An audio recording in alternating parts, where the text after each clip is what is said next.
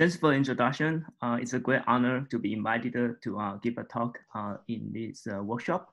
Uh, so uh, today I will talk about how can learning from unlabeled videos help neural video synthesis. so this topic is quite different to the other talks. you won't see a lot of learning from unlabeled video. I'll first talk about why I think neural video synthesis is an important problem and its application and what we have be able to achieve uh, with labeled data. And uh, at the end, I'll uh, suggest some direction that's how unlabeled uh, learning from unlabeled data can help uh, with this neural video synthesis.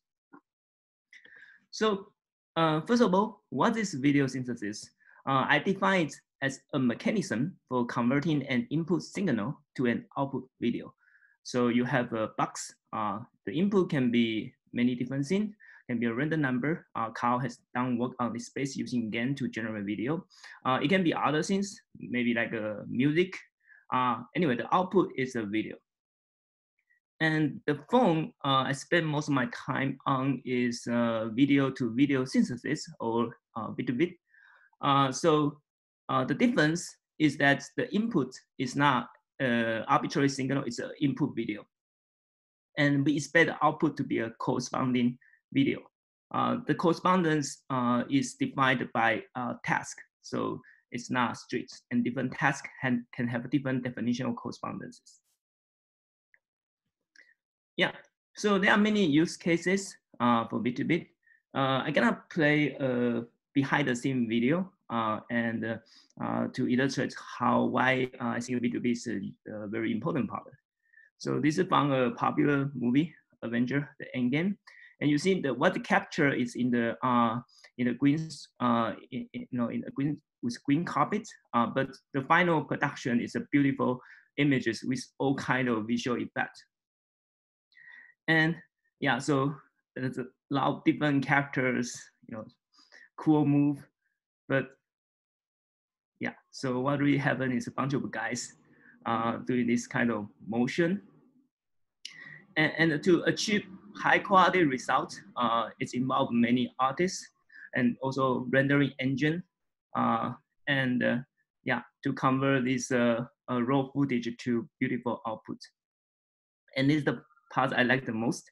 Uh, you, I mean, there's really no monster there, just a green ob object and the the production team was able to convert this video to a beautiful uh, motion picture that we uh, we saw uh, in the movie theater.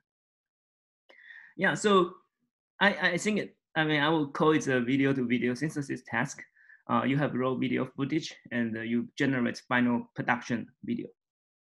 For this movie, it takes 16 visual effect studios, very well-known names in the industry, and numerous design tools, Maya, 3ds Max, Photoshop, and many different rendering engines and many, many artists work for many years to produce a beautiful result. This is great. Uh, this is what we saw uh, in the movie. Um, however, I, I think we can agree that uh, this is not scalable. It's basically required army of artists to produce um, the result.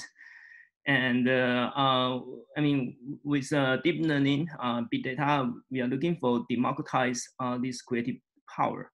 And uh, I mean, this approach is not scalable. We hope that with a neural network, uh, we can kind of democratize this and make everybody can uh, produce beautiful movies uh, using uh, this neural network tool.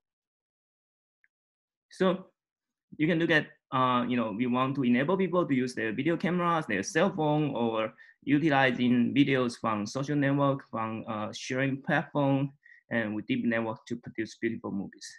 And this is not just for movies. Uh, it can be used to uh, produce video games. I think in our childhood, we all design some games and as our friend to play with us. And uh, with the digital computer, we design we can de uh, design some game in the digital domain. Uh, but you know, not everybody is an artist. Uh, not everybody have the tool to produce beautiful uh, looking uh, video games. Uh, so now I'm gonna show an example uh, trying to uh, illustrate how uh, this uh, neural video synthesis can help with creating video game. So I'm gonna show you a video game called um, Mar Marble Madness. It's a very popular game in the 84, um, in the 80s, uh, produced by Atari, and commercially very successful and profitable. So the video game is very simple. It's a very fun game. So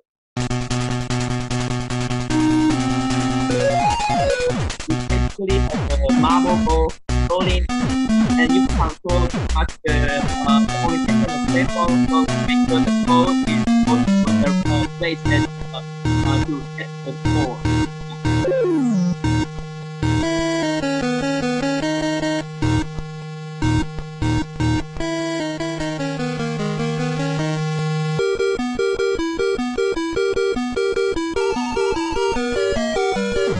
So this is the video game in 80s. Yeah, uh, so this year uh, in the NVIDIA conference uh, called GTC, uh, so we, a bunch of artists and the graphics engineer uh, has uh, remastered this game. I'll show you the video. I mean, it's the same game, but the visual quality is much better.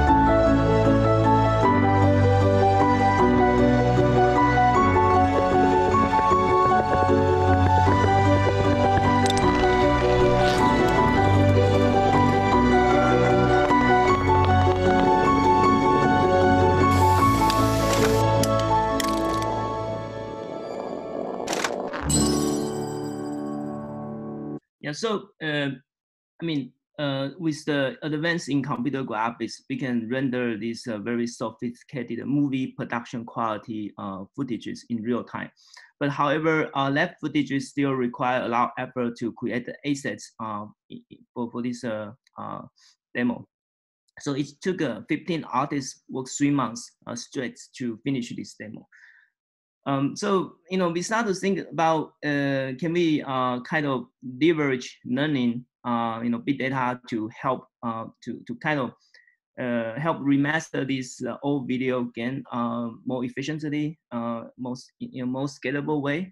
For example, um, you know, uh, the marb- marbles uh, is something that's uh, apparently uh, some competition for marbles, and people do uh, create you know interesting track and. Uh, we have some kind of video in the internet this one. And we.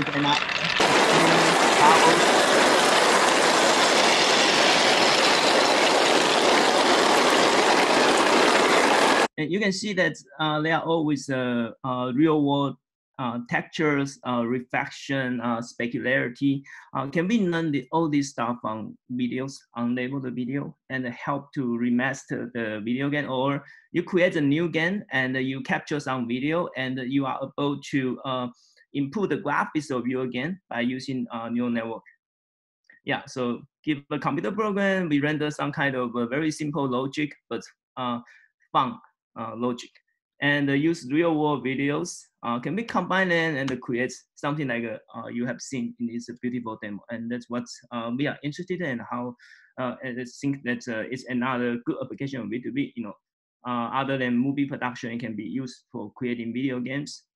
basically, democratize the video game production. Yeah. So we have an early um, trial uh, and try to you know see if it is feasible. Uh, it was 2018. Uh, we published this paper in NeurIPS. Uh, so uh, it's called B2B synthesis. Uh, we have a demo where we have a steering wheel. Uh, we used to control a very simple graph engine to generate segmentation mask. And we use a deep network to convert it, it to a beautiful, realistic images and you know display. so uh, so pretty much, uh, I mean, this is the graph engine. Uh, it's CARLA used for self-driving car research. Uh, but we use it uh, to produce the segmentation mask. Uh, and I mean, this is the video produced by the original CARLA engine. It's mm, you know it's cartoon-like, but we are not using these these images for render the final output. What we use is the segmentation mask you can see it's uh, kind of low quality, but uh, you can see that cars, road, tree, and building. And we know conditional GAN uh, to convert uh, sequence of segmentation mask to uh, photorealistic images. And uh, then you, you can start to uh, drive in this virtual world. And, uh, you know, although it's a simple graph is the input, but you have more realistic images in output.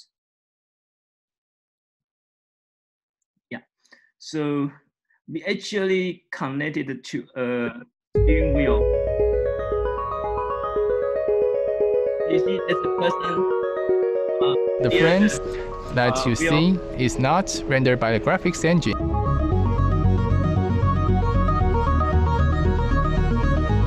For training data, we're given some driving sequences of different cities and then we use another segmentation network to extract the high-level semantics from these uh, sequences. We have the UE4 engine to generate these colorized high-level uh, layouts. Different objects were given different colors. The network converts uh, this representation to images. Yeah, so uh, you know the above demo is uh, limited to street scene, and you know, street scene is a popular environment uh, for video games, but it's uh, it's only one environment. There are many other environments, and so we hope that we have generalized um, approach that can uh, be used to uh, kind of uh, produce many different video games. the core of this of this technology is image-to-image -image translation. So given an input image in one domain, we search for a mapping, uh, we learn a mapping that can convert this input image to a corresponding image in a different domain. Uh, here it's summer to winter. Uh, this is a very popular topic. Uh, the popular world like a P2P CycleGAN and many other papers are in this framework. and many computer vision problems can be casted in this framework. And there are two different settings. Uh, one is a supervised or paired or aligned or digital setting, uh, pretty much saying that the, you have input output uh, relationship uh, defined in the training data for you to learn. Uh, and another popular setting is unsupervised or unpaired, unaligned, unregistered, where you don't have corresponding images. Uh, you all you have are two sets of images, one from each domain that you are interested in translation to translate between yeah, so uh, I'll quickly, uh, very quickly go over some of the works uh, we have done in this space. Uh, and then we'll come back to the uh, supervised setting where, uh, which we found is kind of more relevant to neural video synthesis. Yeah, so uh, this was in 2017 uh, where we tested if we can convert uh, like daytime to nighttime, winter to summer, or sunny to raining. Uh, so here we know uh, one-to-one mapping from one uh, sunny day image, you can only have one daytime image, nighttime image. Later on, we re realized this um, this kind of one-to-one mapping is not sufficient to model uh, the correspondence between two domains, and we have a work called multimodal unsupervised image-to-image translation, um, short, shorthand MUNIT. Uh, so here we show that uh, if you have a dog video, which is your input, uh, you can use it to synthesize uh, one cat, uh, but it's not just one cat, you actually know a distribution of cats and then you can navigate in this space and create different uh, breeds of the cat and do the same uh, ear motion.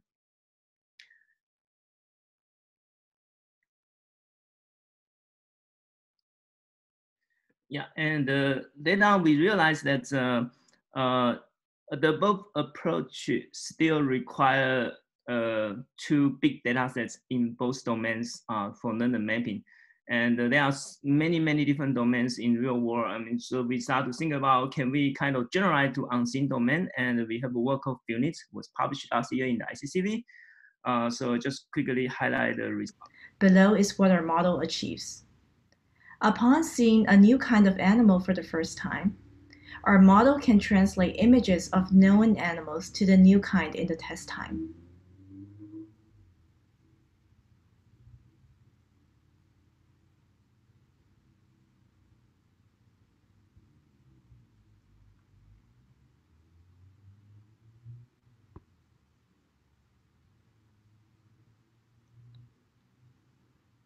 Upon seeing chow mein for the first time. Our model can translate images of other foods to chow mein.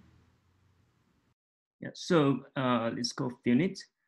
Uh, so uh, I mean, FUNIT is uh, kind of addressing the uh, the translation to unseen domain, but uh, it could still produce uh, image with uh, kind of many artifacts. The translation may not be feasible. Uh, recently, we uh, had a new work called Coco Unit. Uh, so it addressed the same question. Uh, you can think that many image translation framework has the following architecture where you have a content encoder which get the content, something that you want to keep during the translation. in this case, will be the pose of the tiger and you extract style uh, from a style image uh, where it will be the uh, the color of the uh, the hairs of this husky and you want to inject this style into the decoder together with the content to generate a, uh, a husky in the pose of this uh, tiger. So th this is pretty much the framework used in many kind of popular image translation method. Um, so in this COCO-FUNIT, we realized that there's one issue with the style encoder. So the style is extracted without knowledge of the content image. It doesn't know the pose of this tiger. It just purely extracts some style uh, from this uh, Husky image. And we investigated, um, you know, into this uh, uh this uh, setting and found that it creates some issues, uh, which called content leak problem. Um, the detail will be um, in the paper and which will be released soon. So in this COCO-FUNIT, uh, we suggest that uh, we should also use content image to produce the style code. And uh, this style code, we call it content conditioned style code uh, or COCO, and then uh, to produce the output image. And with this, we were able to uh, kind of achieve few translation to more challenging setting, not just the animal faces, uh, you can do the full body now. Uh, you have a style and, and the style and the content, uh, where the content post and style can be very different. Uh, for FUNIT, it, it, can create very strange result in this challenging setting because the style code is extracted without knowledge of the content. And in the COCO-FUNIT, because we inject this uh, content in the style code computation process, we will able to do better. So this quickly summarize our uh, journey in the unsupervised part, and I'll come back to the supervised part.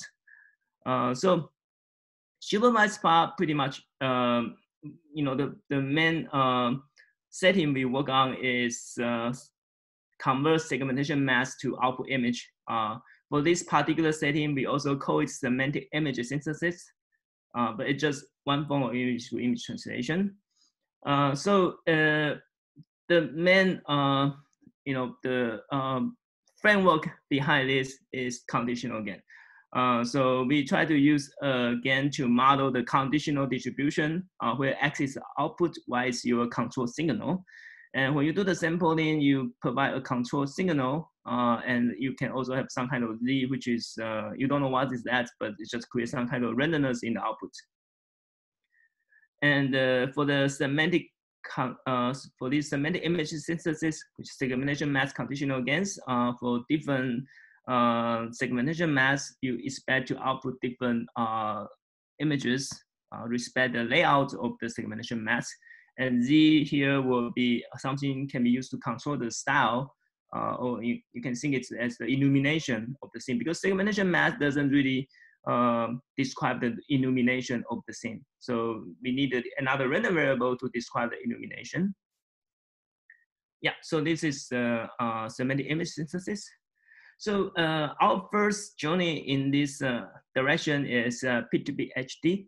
Uh, so it was in two, CVPR 2018. Uh, so at time, our goal is to extend P2P to high resolution. So we achieve, uh, we successfully boost the resolution from 256 to 2K. Uh, and the key ingredient in P2P HD is uh, three, uh, three things. Uh, one is the coarse to fine generator, and second is a multi-scale discriminator, and the last one is a robust objective function. So uh, yeah, so this is a coarse to fine multi-scale robust uh, objective function. So for the coarse to fine generator, what we do is uh, when we are given a high resolution uh, segmentation mask, uh, we first downsample it and then compute some kind of uh, low resolution um, output.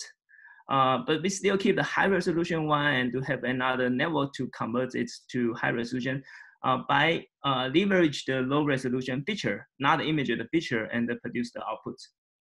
Uh, this how we achieve 2K resolution. And, and for this conditional, GAN, the most important thing is to match the statistics of patches instead of full images. Uh, and uh, you know, patch diff in different scales. So what we uh, to leverage this uh, property, we uh, create image pyramid and have a dis different discriminator operate in different resolution uh, to help the network to learn uh, synthesize the details.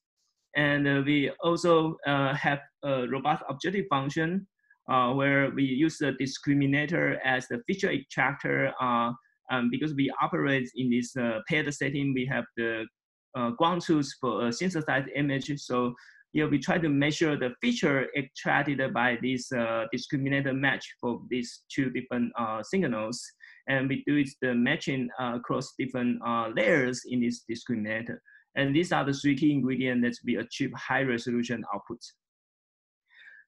Uh, so we were happy with this framework for a while, but later we realized that uh, it doesn't scale to uh, more complex data scenes. Uh, I mean, you have the, the Cityscape images we use in the P2P HD contain about uh, 20 to 30 uh, labels, uh, but real world, they have many, many more classes. So when we directly apply the P2PhD to COCO dataset, which has uh, 182 labels, uh, it's kind of failed miserably. And then we start to think about how we can solve this issue. Yeah, and, and uh, that, that's how we come out with the SPADE design. Uh, so in this paper, which published last year in uh, you know, CVPR, uh, the method is called SPADE, uh, but we also call the word GauGAN. Uh, so in, in, in this spade uh, method, we have two ingredients. Uh, one is the, the spade layer, the other is the style encoder. Um, for the spade layer, uh, so we pretty much uh, create a new residual block. Uh, you know, in residual block, a popular kind of residual block is uh, like activation first, uh, where you first have normalization, activation, and then convolution. Uh, usually the, uh, the normalization is a batch norm, and uh, we have something called spade uh, to replace batch norm. And with this residual uh, block, and we can build a generator uh, similar to uh, like a unconditional or class conditional GAN where you start from low resolution and gradually to high resolution. And this bit there is nothing but a, a batch norm with a pixel adaptive modulation. We know that for batch norm, uh, you first widen uh, widening the uh, the data and then you apply an affine transform and the, this affine is usually uh, pixel independent, just the same value, uh, the same uh, parameter uh, for different image location. Uh, but when, when the input is a segmentation mask, it doesn't really make sense to have this uh, uh, the, this uh, fixed um, affine transform for every pixels.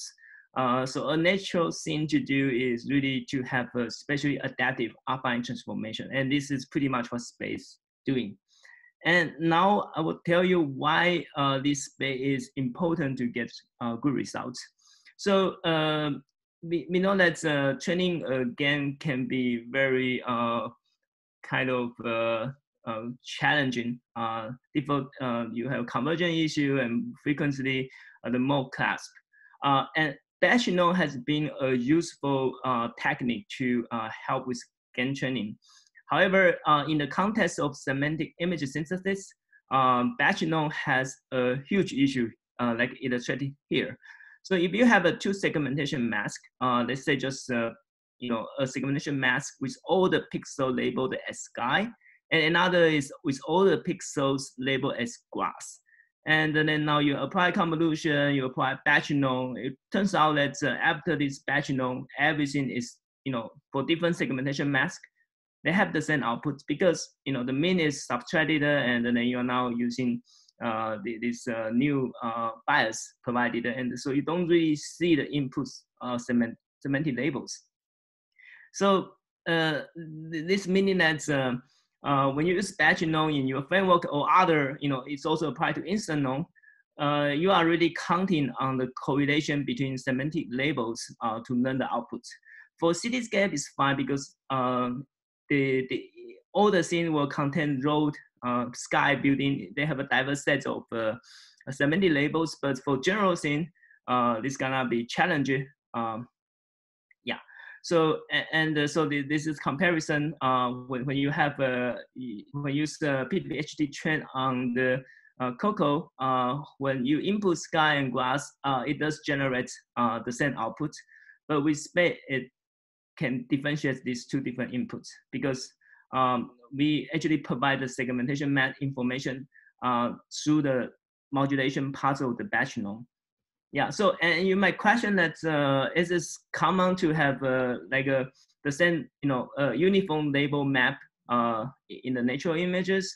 Uh, it's actually quite common. Uh, for example, for these uh, beautiful images, uh, most of the region had the same label. Yeah, so it, it really hurt the uh, performance and that's why we uh, use SPADE to improve the uh, performance. And, and here I'm not going to talk about the, the other component of SPADE, the style encoder part, but uh, it's basically provide some kind of illumination control. Yeah, and we uh, create a, a, online demo is still running, and we have many people use it uh, till today. And uh, so, uh, so you are feel free to uh, use it to generate some images and people have uh, uh, used this interface to create some beautiful image and share in the social network. Uh, so, and you know, some people find a peace when play with this uh, online demo. So, uh, encourage you to try it happen. Um, yeah. Okay, now let's go back to the video to video synthesis. Uh, above, uh, you know, the P2P-HD of Spade uh, are mostly uh, image models. Uh, so to handle uh, to output videos, uh, there are many other things that we need to uh, pay attention to. Uh, the first thing is uh, temporal consistent. so you don't want an output video which is flickering, it doesn't resemble a real world video. Yeah, so in B2B, um, so we basically attend the P2P framework to video generation. And there are several ingredients. Uh, one is a sequential generator, uh, multi-scale temporal discriminator, and a, special temporal progressive training procedure. And here I'm just gonna talk about the sequential uh, generator. So what we do is uh, we have a sequence of segmentation mask um, and some previous generated image. Uh, we use a generator to generate something called intermediate results. It, you can think it's a hallucination uh, for the current frame. And we also synthesize the flow map, uh, which would be the, um, the optical flow from the previous frame to the, to the current frame. And we use this flow map to warp the previous generated image and combine with this hallucination to produce a final image. So once this final image is produced, uh, we take it, you know, we have a new segmentation mask as input, and we take this uh, output as an input and synthesize the next frame. So this way, uh, it's pretty much an RNN, um, uh, the one-step RNN, and, and uh, so we use this one to generate uh, temporally consistent outputs. And uh, other than this, the Cityscape, it has other application here. We uh, input a face video, we check the edges and output uh, uh the person with a different style. And here we do the same, but uh, this time we make the face uh, um, kind of smaller. so yeah, um, to produce output. And we have also applied it to uh, motion transfer. Here we have an input video. We try the, uh, the pose. Uh, uh, we actually use the combination of OpenPose and DensePose. And then we uh, have a model trained to convert the, uh, this pose to a different subject. And so by using the, the pose extraction together with a vid2vid network, we can achieve like a motion transfer. And here we need to train a model for this uh, uh, lady uh, on the right hand side. And for another type of, you know, for generate another lady, uh, we actually uh, train another vid2vid model for it.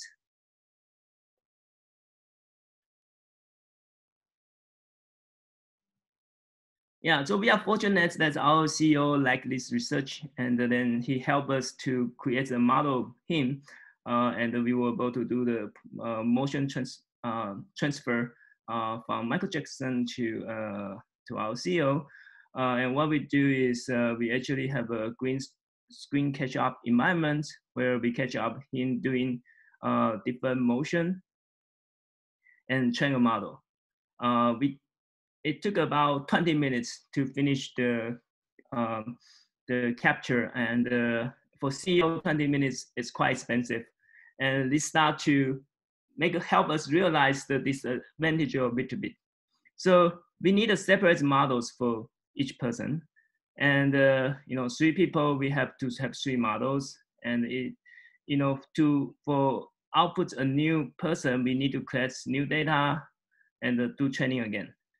Yeah. So if you want to make a movie using vid2vid, and you have 100 characters, then you have to train 100 vid2vid, uh, quite expensive. Uh, and you, of course, you have to collect data from these 100 different subjects.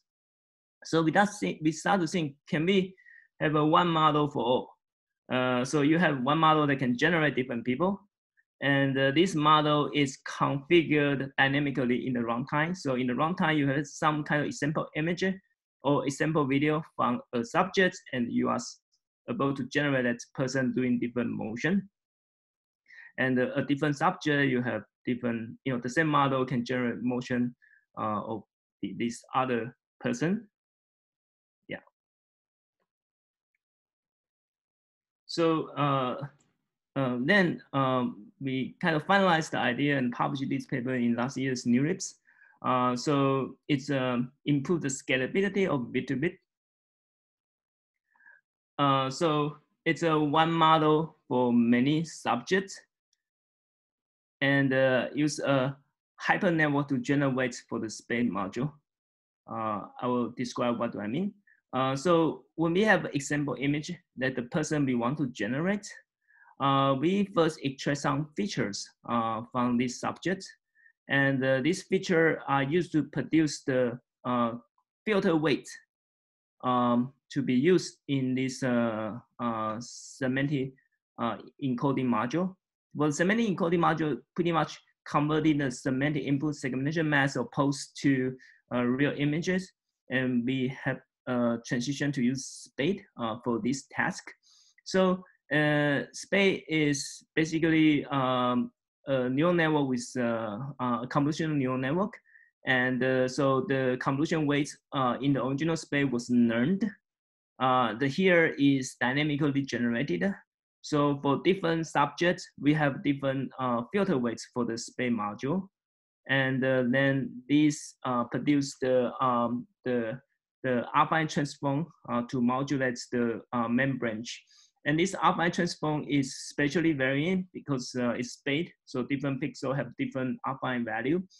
Uh, and it's also uh, style dependent because the style is provided by the input Im image. So when you have different example image, you have different uh, filter weights. And combine these two, we were able to um, uh, synthesize this unseen person uh, to do some motion. Yeah, so this how we achieve this uh, feature art generation capability. So yeah, but I think uh, we have made some progress, uh, but there are still uh, issues. First of all, um, the quality is still far from film quality. Uh, I think we will only stop if we can achieve film quality. And the controllability is still far from professional tools.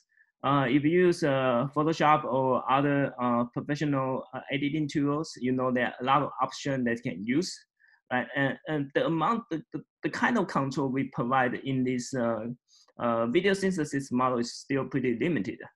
Uh, so definitely something that we need to improve. And other than this too, is also have a long-term consistency issue. Uh, for the vid2vid framework, uh, it's basically a sequential generation module. Uh, it uh, has no memory. Uh, so it doesn't know uh, uh, what it has, you know, it has visited, you know, for example, in, in a cityscape, right? You're driving in a, in a city, uh, you see a block and you come back to this block, you expect the look should be identical, right? But for the vid2vid model, it doesn't really remember what it has generated. You know, it, it probably just remember that the previous friend. Uh, so, and then because of this issue, it wouldn't be able to synthesize the image at the same, the same way it synthesized the first time. Yeah, so we identified the issue and um, and then um, you know we have a new work to address this issue. And of course, there are many other issues. Uh, so still a long way to go. And uh, next, I'm gonna just uh, quickly uh, show the video uh, on, on the new uh, work called work consistent bit to bit. So it's improved the long-term consistency of vid2vid. Uh, so meaning that when it come back to the same place, it will render an image that's uh, similar to the first image it rendered. And uh, it also produces uh, better images. Yeah, so so I'm gonna play the video and you will see some video which are generated by our latest uh, vid2vid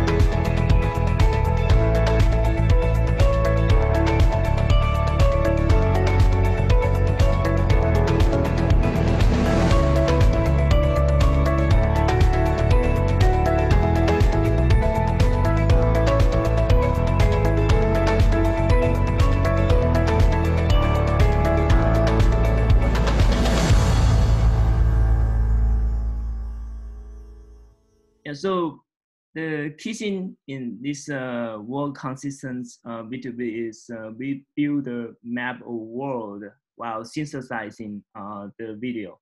So then it has uh, access to the the world that it had generated so far, and that's how we can use it to generate consistent output. And uh, the paper will be in arXiv soon, so I uh, encourage you to read more details there. Yeah, so uh, now I'm gonna talk about uh, my view on how can learning from unlabeled videos help with video synthesis. And the work, uh, the works we present so far are all based on uh, some, some, some kind of uh, labeling. Uh, either we have segmentation mask or we have the human pose. And uh, uh, even with segmentation mask, uh, we still find it's very hard to synthesize uh, human in diverse pose. Uh, of course, I mean, if you only have faces, we can do quite well. You have seen GAN result. But here you have a diverse scene from COCO. You have a person holding a tennis racket, and the segmentation mask of the person is just uh, a black silhouette. And uh, this is the the best uh, semantic image synthesis when network can do now. Uh, it synthesizes the tennis rackets really well. And you, you, can see the person, you can see eye nose, but it really uh, doesn't look right.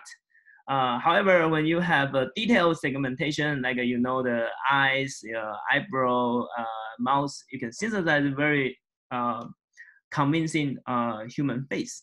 So, yeah. So, but to do that, you need a fine grain labels of course, you, you can achieve fine grain label for human faces, but to generate diverse things, you need a fine grain labels for many uh, uh, different objects in the world.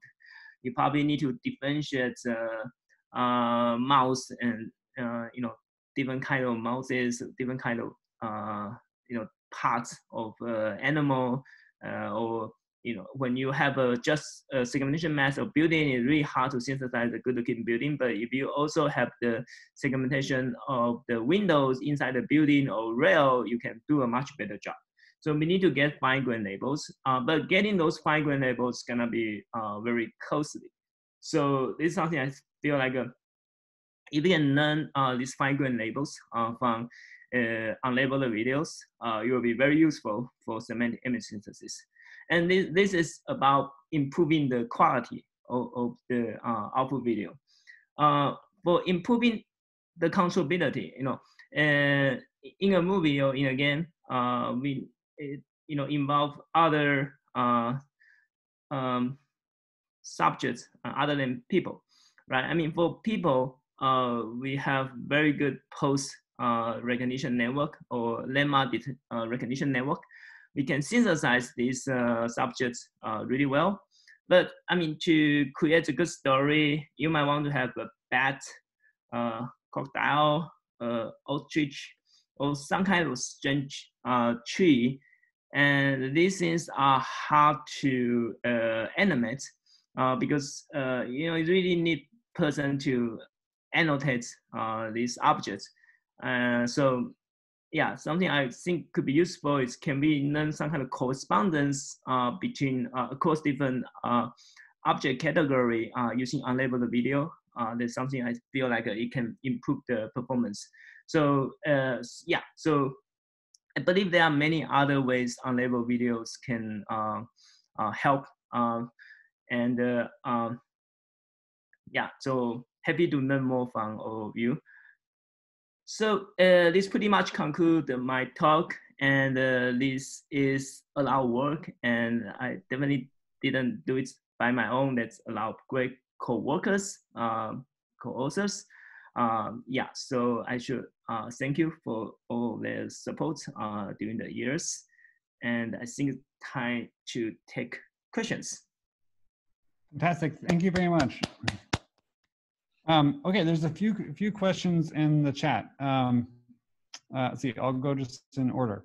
Um, so the first question is, um, why has the background uh, been also changed in Coco Funit? Um, is there a way to limit the change only for an instance in the image? Uh, Yes. Uh, so uh, if you have the object segmentation mask already through translation, you also learn some kind of mask. Uh, you would be able to limit the translation uh, to the object area.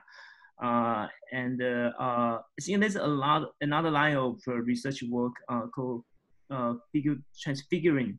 Yeah, so those papers would address the issue there. Mhm. Um, okay, and then the second question is um, about the about the long-term consistency results, which are quite cool, as as as very cool. Um, the question is, uh, enforcing long-term consistency may lead to may lead to degenerate results. Um, what have you done to avoid this? I'm Uh, not sure what the questioner is asking. What, what type of degenerate results? I guess um, I don't know if this person wants to clarify. so um, I, think the uh, because we are building the the uh, the the wall map uh, as synthesizing the images, so we do in uh, use additional uh, we kind of have additional memory to remember what we have synthesized. Uh, it's actually uh, not hurting the performance. If you compare the vid2vid result and the world consistent vid2vid result, you see uh, improvement. Uh, so, um, you know, even when you use the SPADE module in vid2vid, you still see improvements uh, in the generated quality. So uh, we, did, we didn't see the, uh, the degeneration part. Hope this answers your question. So, okay, I, I have kind of a high level question. Um, do, what do you, do you think learning is going to replace the entire uh, pipeline for graphics? uh, let the dream. so uh, I, think it's still a long way to go. Uh, so uh, I think are two end of spectrum. For the movie production, you cannot tolerate any artifacts. I don't know if you have watched the Life of Pi movies. Uh, it's pretty much in ocean. And uh, when producing that movie, they have people manually to to uh, to to pen the water drops the, the splash to measure that uh, video looks convincing enough. Uh, so that amount of quality they, they reach for. Uh, for to, to reach that quality, I believe is still a very, very long way to go. But that's another end of spectrum. Like uh, you have seen many cool videos in social network. Uh, you can see artifact, but it's funny, you know. So uh, it, it still creates value uh, you know, entertainment, uh, but it, it's the other. So what I see is uh, traditional graphics from one end here, and uh, we are coming from another end. So, and I mean, there are many graphic researchers try to employ neural network as part of their pipeline, maybe, you know, to uh, do the ray tracing more efficiently or creating texture more efficiently. And what we are trying to do is uh, to see how this data-driven framework can, you know, can go.